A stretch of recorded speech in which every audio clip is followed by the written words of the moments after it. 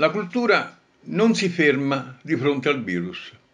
Non si fermano neppure gli associati del Centro Studi e Ricerche Vittorio Monaco, unitamente al presidente Bruno Di Bartolo, che hanno ripreso le attività in una modalità diversa dal solito, che è appunto la pandemia oggi impone, e cioè la diretta streaming.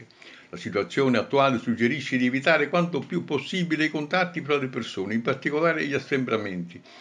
La via telematica pertanto oggi appare la strada giusta. La diretta streaming nella pagina Facebook del Centro Studi è apparsa la soluzione più adeguata. Si è iniziato lo scorso 8 marzo con il reading di poesie Voci femminili. Si è continuato mercoledì scorso con un incontro nel corso del quale si è discusso di montagna, aree interne, transizione ecologica nel nostro paese, dell'Atlante e dell'Appennino, curato dalla Fondazione Simbola.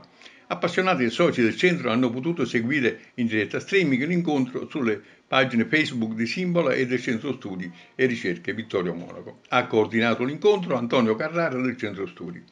Argomento importante ci è apparso subito la presentazione dell'Atlante e dell'Appennino, a cui di Domenico Storabotti, direttore della Fondazione Simbola.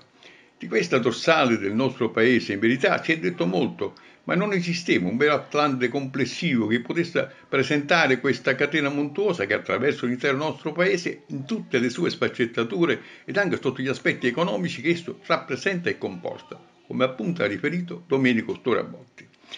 È emersa dunque l'importanza, la rilevanza, la centralità nelle geografie fisiche, storiche, economiche e culturali del Paese.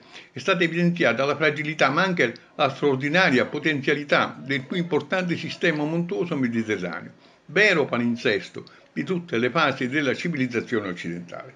Questa visione dell'Appennino italiano e più in generale delle aree interne del nostro Paese sono ancora oggi di grande attualità, in particolare per le aree interne del nostro Paese. Non a caso perciò è apparsa di straordinaria importanza la presentazione dello studio dell'Appennino, le montagne del Mediterraneo al tempo della transizione ecologica. L'Atlante dell'Appennino è uno studio curato dalla stessa fondazione e pubblicato nel 2018.